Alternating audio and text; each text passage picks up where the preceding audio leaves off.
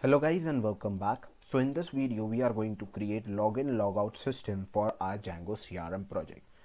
Django by default has authentication views where we can take an advantage of login, logout, user registration, change password, reset and forgot password.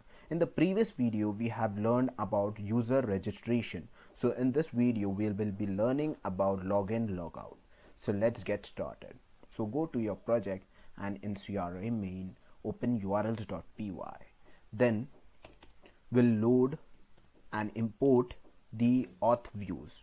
So from django dot contrib dot auth views import views okay? And as we will be giving the name as auth views okay? Then we'll create the login path. So path and in path login auth views dot login view dot as view and in as view will give the template name. Common dot login dot html okay? And we'll give the name name as login okay? So in common we have created one login html where we have loaded the static and crispy form templates. We are loading according to the django and then we, and here we are loading the form with crispy tag and the csrf token so here we have created the login path. So similarly we'll create the path for logout. So in logout path we have given the name as logout then auth view logout view and the major difference is here.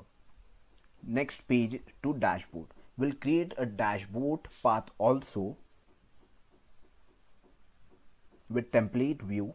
In apps common will go to the views. Using template view will create a template path and we'll give it as name dashboard and the template name as dashboard. Okay save this one. Let's import this here. So it is in here and we'll create the path. So we have created the dashboard path also. Now what we'll do we'll go to settings.py file and in that we'll give the login redirect URL. So login redirect URL and name will be law dashboard. Okay. So we are done. So let's see the terminal. We are getting one error. Okay, the error might be here. Here we have forgotten to put the comma yeah now everything is working fine. So before loading everything let's create the button also. So in home we'll create the button.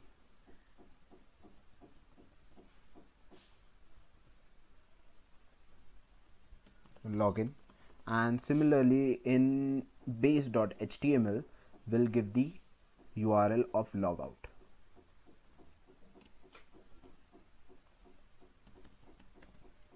save done.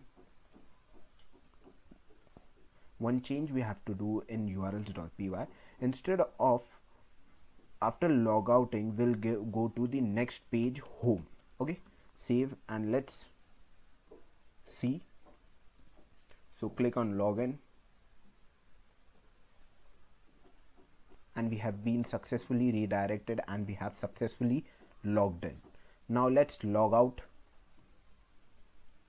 and we have been successfully redirected to home page with logout. Now one thing we can we can redirect it to dashboard also without if we are not having if we are not login.